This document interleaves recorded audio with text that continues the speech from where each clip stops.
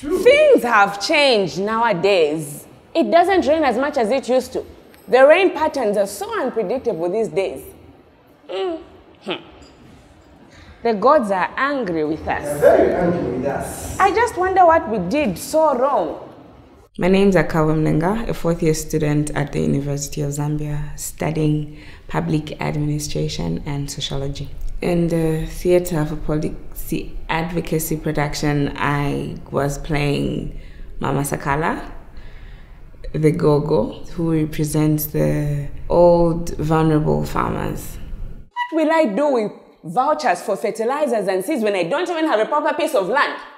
This only benefits Mr. Mpande over here and yourself. These food vouchers, can they help cure my sick child? Can they? While I appreciate these food parcels, I see a lot of poor in this village becoming dependent on this food aid. They no longer want to work, but just work like small little birds waiting to be fed by their mothers. These NGOs think we all face similar challenges. They come to us with a blanket approach.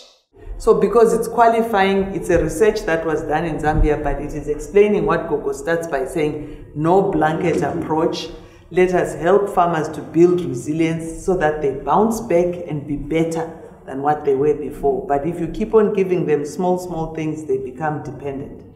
But by becoming dependent, they are poorer and poorer because they are not improving. Yeah? From the role, I think I got that um, some people that practice the not so climate friendly kinds of agriculture, they're not well informed most of the time.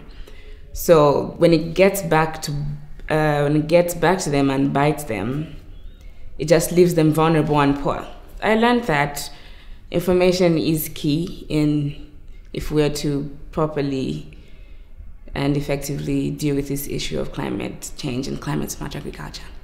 Mr. Mpande, that was a fantastic conference. Did was You that? know, these platforms need to keep coming to us poor rural people. True. We need them more. You see, I learned a lot. Uh-huh. I learned about um, adaptation, Uh-huh. and resilience, Uh-huh. mitigation, Yes. uh, climate smart agriculture, Yeah.